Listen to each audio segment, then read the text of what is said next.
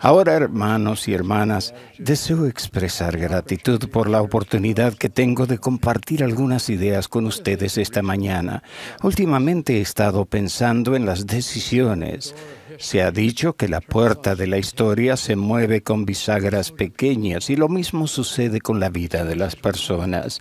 Nuestras decisiones determinan nuestro destino.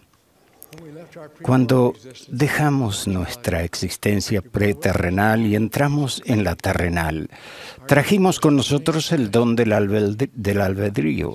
Nuestra meta es obtener la gloria celestial y las decisiones que tomamos determinan en gran parte si la alcanzamos o no. La mayoría de ustedes están familiarizados con Alicia de la novela clásica de Lewis Carroll, Las aventuras de Alicia en el País de las Maravillas. Recordarán que llega a un cruce con dos caminos ante ella. Cada uno sigue hacia adelante, pero van en direcciones opuestas. Al considerar qué camino tomar, la confronta el gato Cheshire, a quien Alicia pregunta, ¿qué camino debo seguir? El gato contesta, eso depende del sitio al que quieras llegar.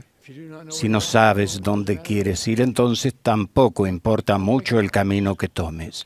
A diferencia de Alicia, sabemos dónde queremos ir y sí importa dónde vayamos, puesto que el camino que tomemos en esta vida conduce a nuestro destino en la venidera. Que escojamos edificar en nuestro interior una gran fe y poderosa que será nuestra defensa más eficaz contra los designios del adversario. Una fe real, el tipo de fe que nos sostendrá y reafirmará en nuestro deseo de escoger lo correcto. Sin una fe así, no vamos a ninguna parte. Con ella podemos lograr nuestras metas. Aunque es fundamental que escojamos sabiamente Habrá momentos en los que tomemos decisiones insensatas. El don del arrepentimiento que ofreció el Salvador nos permite corregir nuestro rumbo para poder regresar al camino que nos llevará a esa gloria celestial que buscamos. Que mantengamos el valor de desafiar la opinión general, que escojamos el difícil bien en lugar del fácil mal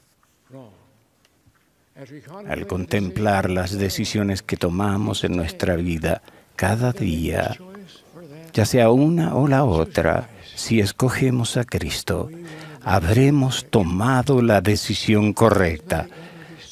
Que así sea siempre, es mi oración sincera y humilde.